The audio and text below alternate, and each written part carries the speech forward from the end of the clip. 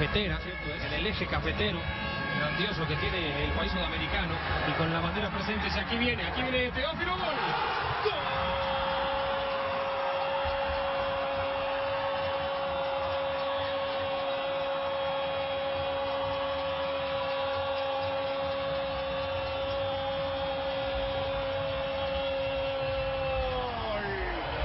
de Cruz Azul. Primer pelota que toca Teófilo Gutiérrez. Este es el Teófilo de selección, este es el Teófilo que le llama a Argentina. Es cierto que la desvían, pero él, él se anima primero, va en cara, termina confiándose y mete el impacto.